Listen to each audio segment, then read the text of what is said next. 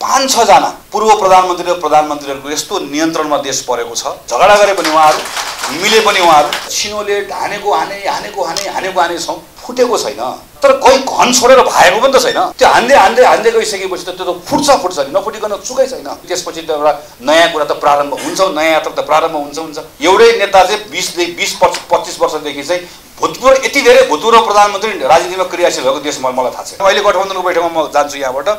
त्यहाँ सब एकले अर्कालाई सम्बोधन गर्दै गर्दा नमस्कार प्रधानमन्त्रीज्यू नमस्कार प्रधानमन्त्री नमस्कार प्रधानमन्त्रीज्यू भनेपछि एउटा भएको प्रधानमन्त्री एउटा हुनेवाला प्रधानमन्त्री एउटा भइसकेको प्रधानमन्त्री एउटा पछिको प्रधानमन्त्री प्रधानमन्त्री नै प्रधानमन्त्री बसेको अवस्था। सरकारले ठिक ढङ्गले काम गर्न सकिरहेको छैन। भ्रष्टाचार र कुशासनको कारणले गर्दा नागरिकहरू आजित भएका छन्। म शेरबहादुर देउबा र सुशील कोइरालाको बिचमा संसदीय दलको चुनाव हुँदै गर्दा त्यो संसदीय दलको त्यो नेपाली कङ्ग्रेसको संसदीय दलको कर्मचारीलाई फोन गरेर मिलाएर उहाँले यसो बाहिर ढोकामा भनिदिएर लुकेर पछाडि ढोका आएर पर्खालबाट आएर हेरेको मैले चुनाव थियो। अस्ति म त्यही गेटबाट गएर सांसद भएर म त्यहाँ गएर चुनाव प्रतिस्पर्धा गरेर आएको हो नि त।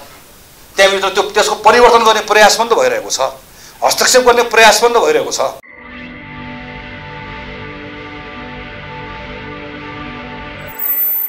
राजनीतिक दल हाम्रो सन्दर्भमा के रह्यो? हामीहरू जस्तो म साठी साल सम्झन्छु।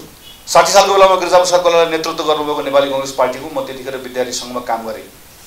नेभी सङ्घमा काम गर्दाखेरि। त्यतिखेर लिडरसिप बारे पनि क्ल्यारिटी थियो।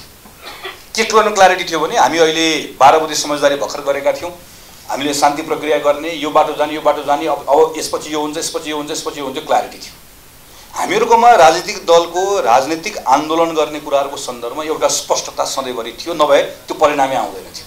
त्यो कुरामा हामीले आफूलाई अब्बल पनि साबित गरेर आएका छौँ। पटक पटक नेपालको राजनीतिक आन्दोलनलाई सफलतापूर्वक नेतृत्व गरेर त्यो भनेको व्यापक जनपरिचालन चाहिन्छ। लिडरले कम्युनिकेट गर्न सक्नुपर्छ। लिडरले कम्युनिकेट नगरिकन त्यत्रो त्यत्रो त्यत्रो जनतालाई परिचालन गर्न सक्दैन। आफ्नो एजेन्डा जस्तो अहिले अहिले सबैजना अहिले सङ्घीयताको कुरा हामीहरू गर्छौँ।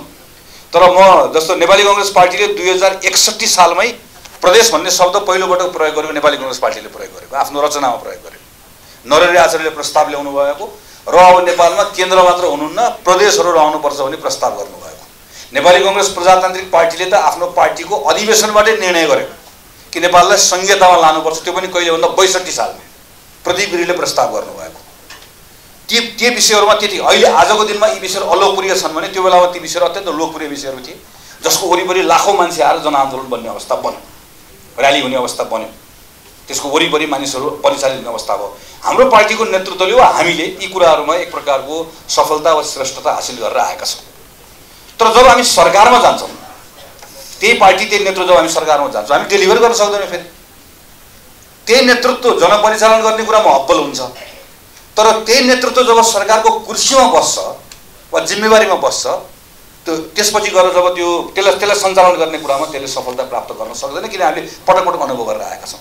यसको एउटा कारण भनेको चाहिँ त्यो सरकार भनेको मैले केलाई भन्न खोजेको भने आवधिक कुरा अहिले इलेक्टेड भएर आयो जस्तो अहिले प्रचण्डजीको नेतृत्वमा सरकार छ यो सरकारको आयु भनेको चौरासीसम्म भयो। यो सरकार भनेको मैले यो अहिलेको इलेक्सनपछि आउने गभर्मेन्टको ज जसको नेतृत्वमा बने पनि।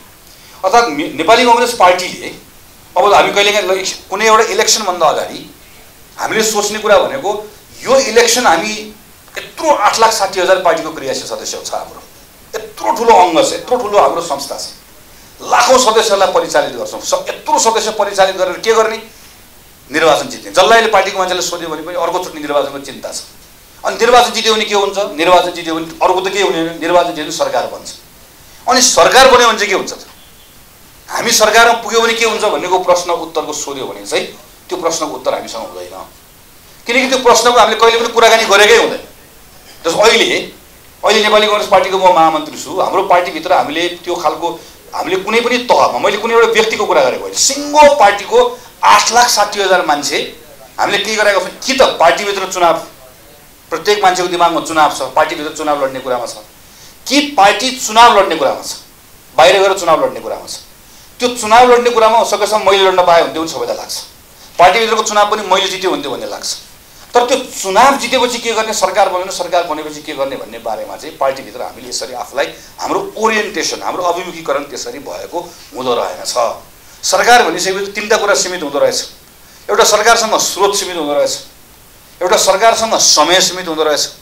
एउटा सरकारसँग चाहिँ एउटा एउटा गिभन कन्टेक्स्ट सन्दर्भ हुँदो रहेछ। त्यो सन्दर्भभन्दा बाहिर गएर उसले धेरै गर्न सक्दो रहेछ। जस्तो उदाहरणको लागि आन्दोलन गर्ने बेलामा के सजिलो हुँदछ उदाहरण मैले शिक्षा भनेर शिक्षा नेपालीको नैसर्गिक अधिकार हो मौलिक हक हो सबै नेपालीले गुणस्तरीय शिक्षा प्राप्त गर्न पाउनुपर्छ।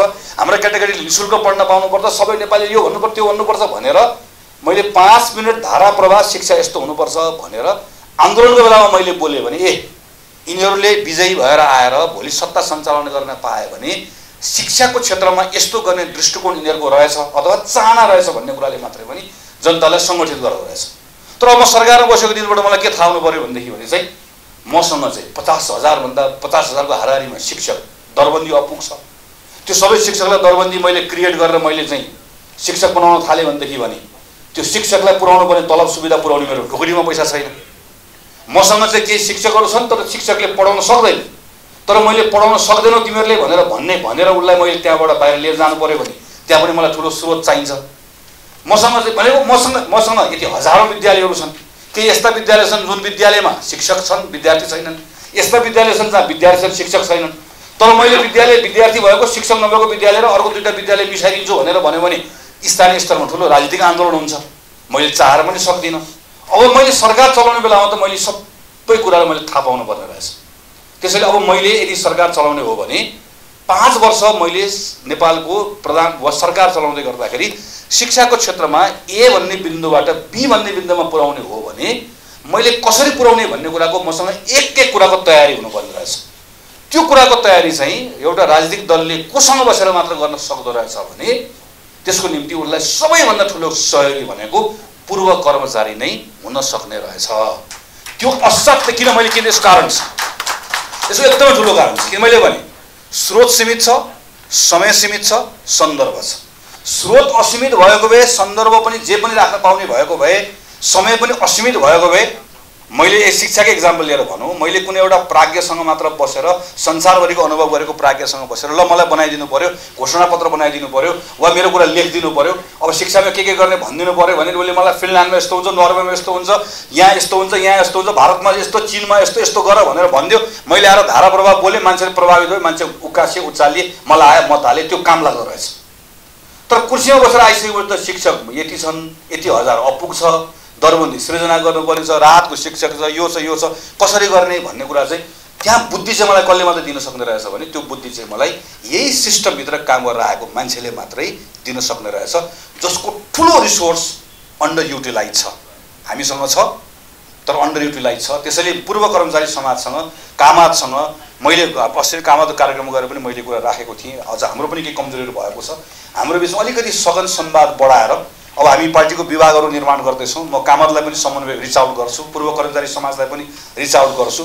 तपाईँहरूले हामीलाई हाम्रो सत्तरीवटा विभाग छन् अब बन्ने सेक्टरल हिसाबको विभागहरू छन्। त्यो विभागहरूमै पनि हामी पूर्व कर्मचारीको तर्फबाट कम्तीमा एउटा विभागमा एकजना साथी दुईजना साथी जसले क्षेत्रगत अनुभव बोकेर आउनुभएको छ ती साथीहरूलाई संलग्न गराएर हाम्रो पार्टीको यी गतिविधिहरूलाई यो ढङ्गले अगाडि बढाउन चाहन्छु। यसमा पनि यहाँहरूको मद्दत रहोस्। र मेरो अन्तिम कुरा भनेको चाहिँ मैले खालिबाट गर्ने अपेक्षा भनेको चाहिँ आजको दिनमा अघि प्रदीप सरले भन्नुभयो आधा भरिएको र आधा बाहिर जन नागरिकले हेर्दै गर्दा आधा खाली देख्छ। हामी शासकहरूले आधा भरियो भन्ने कुराको दम्ब राख्छौँ भन्ने एउटा महत्त्वपूर्ण कुरा उठाउनु भएको छ। तर रियालिटीमा के हो? आधा भरि पनि हो आधा खाली पनि हो। हामीले आधा भरि छ भनेर भनेर मात्र बस्यो भने पनि सबै कुरा डुब्नेवाला हो। तर आधा खाली छ भनेर रुवावासी गर्दै गर्दा पनि सबै कुरा डुब्नेवाला हो। त्यसले आधा भरि नै हो आधा खाली नै हो। आ यो जे हो त्यो रियलिस्टिक आजको दिनमा जे हामीसँग छ त्यसमै टेकेर हामीले अगाडि बढ्नुपर्नेछ।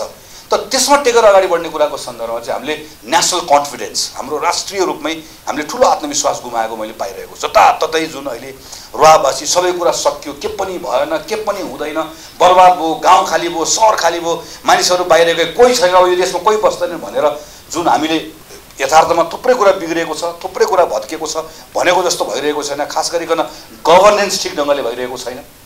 खास गरिकन चाहिँ सरकारले ठिक ढङ्गले काम गर्न सकिरहेको छैन। हामीहरूले जुन जुन परिणाम आउनुपर्ने आउन सकिरहेको छैन भ्रष्टाचार र कुशासनको कारणले गर्दा नागरिकहरू आजित भएका छन्। तर यो सबैको बिचमा फेरि यसलाई सम्हालेर लिएर जाने काम पनि हाम्रो यसलाई सम्हालेर जाने कुराको सन्दर्भमा चाहिँ समाजलाई अलिकति सकारात्मक कुरातर्फ पनि हामीले लिएर जानुपर्ने छ मैले अस्ति एउटा सानो कक्षा कोठामा कार्यक्रममा गएको बेलामा भनेको थिएँ कस्तो अवस्था भइसक्यो भने घरमा म र म राजनीति गर्ने मान्छेको मेरो पनि दुइटा सानसानो छोरी हुर्काइरहेको छु। मेरो घरमा कुरा हुँदै गर्दाखेरि मैले के भन्ने भयो भनेदेखि देश जति सबै चाहिँ कर्मचारीले बिगाऱ्यो भनेर मैले भन्ने कर्मचारीको घरमा हुँदै गर्दा सबै नेताले खत्तम बनायो भनेर भन्ने भएँ अनि अर्को अर्को अर्को चाहिँ व्यापारी छ भने व्यापारीले सबै नेता र कर्मचारीले कर्मचारीले काम गर्न नदिएर यति उसले बिगार्ने भन्ने भयो। अर्कोले व्यापारीले बिगार्ने भयो। अलि उसले उसलाई उसले उसलाई भन्दै गर्दाखेरि ती भएका पाँच छ कक्षाका छोराछोरीहरूलाई सबैले आफ्नो अभिभावकको चाहिँ के गर्नुहुन्छ नाम नभनिकन पेसा मात्र भनेर भन्यो भने त त्यो छोरछोरीहरूलाई के लाग्ने भयो भने हामी त सबै देश बिगार्नेका छोरछोरी रहेछौँ यहाँ। कोठामा बस्ने बेला लाग्ने भयो। उसले उसलाई उसले उसलाई एकअर्काप्रतिको हाम्रो विश्वास गुमेको एकअर्काप्रतिको भरोसा जुन समभावको कुरा आयो एकअर्काप्रतिको भरोसा गुमेको हामी एक एउटाले अर्कोको ठाउँमा बसेर हामी हामी पोलिटिसियन्सहरू मात्र बस्यो भने आज हामी सँगै छौँ र सँगै एउटा कुरा हुन्छ। पोलिटिसियन मात्र बस्यो भनेदेखि भने पाँचजना पोलिटिसियन बस्यो भने सबै दोष यो देश अगाडि नबढेको सडक बन्द थियो त्यो कर्मचारीले रुख काट्न दिएन। स त्यो वन जोगिन्थ्यो यसले गर्न दिएन। यसले भनेको सबै देश बिगा म त कर्मचारीको पनि छोरा भएँ। अनि त्यसो गर्दै गर्दा मेरो बाले बिगारे कि भन्ने पर्ने भयो मलाई। मैले अनेस्टली भनेको भनेको कस्तो भन्दै पनि कर्मचारी कर्मचारी मात्रै बस्दै गर्दा सबै पोलिटिसियन्सहरू पोलिटिसियन्स मात्रै बस्दै गर्दा कर्मचारी रियालिटीमा के हो? रियालिटीमा के हो भने रियालिटीमा जति अगाडि बढ्नु पर्ने अगाडि बढ्न सकिरहेको छैन। गभर्नेन्स ढङ्गले भइरहेको छैन। यसलाई सम्हाल्नु पर्ने छ सुधार्नु पर्ने छ। तर जुन तरिकाले हामी अहिले हाम्रो हाम्रो आफ्नो विमर्श भइरहेको छ समाजमा जसरी भइरहेको छ नयाँ पुरानो विमर्श हामी भनेको सबै यो ठिक ढङ्गले गइरहेको यसलाई यसलाई सम्हाल्नु यसलाई ठिक ट्र्याकमा ल्याउनु पर्नेछ। हामीका थुप्रै ठिक कुराहरू छन्। मैले अघि भने संविधान सभाको निर्वाचन भएर कल्पना गरौँ त ल। संवि पहिलो संविधान सभाको निर्वाचनबाट संविधान यही बानेश्वर ल। म संविधान सभाको सदस्य थिएँ। त्यो दिन मलाई के लागेको थियो भनेदेखि भने यस्तो जातीय द्वन्द्वमा नेपाल गइसकेको थियो। अब हामी सम्हाल्न सक्दैनौँ भन्ने लागेको थियो। नेपाल जस्तो थुप्रै देशहरू जो राजनैतिक द्वन्द्वबाट बाहिर निस्किए जातीय धार्मिक कुनै न कुनै खालको यस्तो नराम्रो अतिवादको चपेटामा परेका छन् धेरै देशहरू। नेपाल त सबैबाट जोगिएर जोगिएर आएको छ। हामी अहिले संविधान बनायौँ ट्र्याकमा आएको छ लगातार एक वर्षको आवधिक चुनाव हुन थालेको छ हाम्रा संस्थाहरू बनेका छन् बिस्तारै बिस्तारै संस्थाहरूलाई बलियो बनाउने प्रयासहरू भइरहेको छ। अलिकति के सकारात्मक कुराहरू भएका छन्। तर इकोनोमीमा जुन खालको परिवर्तन ल्याउनु पर्ने भएको छैन शासकहरूको प्रवृत्तिमा जुन परिवर्तन ल्याउनु पर्ने भएको छैन खास गरिकन नेपालको सन्दर्भमा हामीले हाम्रो दु हाम्रो डेमोक्रेसीको सबैभन्दा दुःखद पक्ष भनेको चाहिँ पाँच छजना पूर्व प्रधानमन्त्री र प्रधानमन्त्रीहरूको यस्तो नियन्त्रणमा देश परेको छ कि नेपालको राजनीतिक दलहरू उहाँहरूको एक प्रकारको नियन्त्रणमा भएकोले प्रकारान्तरले नेपालको राजनीति नै उहाँको नियन्त्रणमा भएको जस्तो झगडा गरे पनि उहाँहरू मिले पनि उहाँहरू मैले मलाई मेरो विचार मैले यस्तो मेरो मैले पढेको डेमोक्रेसीमा चाहिँ यस्तो भाइब्रेन्ट डेमोक्रेसी भएको ठाउँमा चाहिँ एउटै नेता चाहिँ बिसदेखि बिस पच्चिस वर्षदेखि चाहिँ भूतपूर्व यति धेरै भूतपूर्व प्रधानमन्त्री राजनीतिमा क्रियाशील भएको देश मलाई थाहा छैन। यति धेरै भूतपूर्व प्रधानमन्त्रीहरू यति धेरै भूतपूर्व प्रधानमन्त्री अहिले गठबन्धनको बैठकमा म जान्छु यहाँबाट। त्यहाँ सब एकले अर्कालाई सम्बोधन गर्दै गर्दा नमस्कार प्रधानमन्त्रीज्यू नमस्कार प्रधानमन्त्री नमस्कार प्रधानमन्त्री भनेपछि एउटा भएको प्रधानमन्त्री एउटा हुनेवाला प्रधानमन्त्री एउटा भइसकेको प्रधानमन्त्री एउटा पछिको प्रधानमन्त्री प्रधानमन्त्री प्रधानमन्त्री बसेको अवस्था हुन्छ। अब एकछिनपछि प्रमुख प्रतिपक्षसँग बैठक छ पाँच बजे त्यहाँ पनि को बस्ने भन्दा तिनवटा प्रधानमन्त्री। एउटा भइसकेको प्रधानमन्त्री एउटा हुनेवाला प्रधानमन्त्री एउटा हुन सक्ने प्रधानमन्त्री बस्ने बैठक। जताततै यति धेरै प्रधानमन्त्री भएको देश चाहिँ त्यो प्रधानमन्त्री प्रधानमन्त्री जोडिएको चाहिँ डेमोक्रेसी बिरलै होला मैले थाहा नपाउने हुनसक्छ। यो हाम्रो हाम्रो हाम्रो राजनीतिको एउटा दुःखद पक्ष हो। यसलाई बदल तर सँगसँगै यो पनि त हेरौँ न। सकारात्मक कुरा पनि हेरौँ नि त। म मैले अस्ति नै भने हेर्दा सामान्य कुरा लाग्ला। म शेरबहादुर देउबा र सुशील कोइरालाको बिचमा संसदीय दलको चुनाव हुँदै गर्दा त्यो संसदीय दलको त्यो नेपाली कङ्ग्रेसको संसदीय दलको कर्मचारीलाई फोन गरेर मिलाएर उहाँले यसो बाहिर ढोकामा भनिदिएर लुकेर पछाडि ढोकाबाट आएर पर्खालबाट आएर हेरेको मैले चुनाव थियो। अस्ति म त्यही गेटबाट गएर सांसद भएर म त्यहाँ गएर चुनाव प्रतिस्पर्धा गरेर आएको हो नि त। त्यहाँभित्र त्यो त्यसको परिवर्तन गर्ने प्रयास पनि त भइरहेको छ। हस्तक्षेप गर्ने प्रयास पनि त भइरहेको छ। प्रश्न पनि त गरिराखिएको छ। उत्तर आएको छैन परिणाम आएको छैन। तर के यति त हो नि त छिनोले हानेको हाने हानेको हाने हानेको हाने छौँ फुटेको छैन। तर कोही घन छोडेर भाएको पनि त छैन। थाके भनेर गएर हात उठाएर समर्पण त गरेको छैन नि त। त्यसले हानेको हाने हानेको छ नि त। त्यो हान्दै हान्दै हान्दै गइसकेपछि त त्यो त फुट्छ फुट्छ नि नफुटिकन चुकै छैन। त्यो फुटिसकेपछि त्योभन्दा पछाडि फेरि त्यो त्यो त्यो त्यसपछि त एउटा नयाँ कुरा त प्रारम्भ हुन्छ नयाँ यात्रा त प्रारम्भ हुन्छ हुन्छ। यस यसरी हेऱ्यौँ भने अलिकति सकारात्मक लाग्छ। होइन यो सक्यो सक्यो बर्बाद भयो भने त्यही कुरा लाग्छ। त्यसैले मेरो आग्रह चाहिँ हामीहरू सबैले अझ यहाँ यति यति धेरै रिसोर्स यहाँभित्र हुनुहुन्छ यत्रो धेरै अनुभव गरेर आउनुभएको। मेरो अनुरोध यति मात्रै हो कि हाम्रो यहाँभित्रको विमर्शलाई आज आज एकदमै राम्रो यहाँ छलफल पनि भयो। छोटो समय अझै यहाँ दिल्ली सरको अरू अरू हाम्रो अरू पनि केही यहाँ मन्तव्यहरू रहन्थ्यो होला गोपाल सर उहाँहरूको अझ थप कुराहरू सुन्न पाएको अझ थप राम्रो हुन्थ्यो। तर जे जति कुराहरू आज यहाँ भयो यही लाइनमा अरू थप पोजिटिभली कन्स्ट्रक्टिभली तर क्रिटिकल्ली पनि।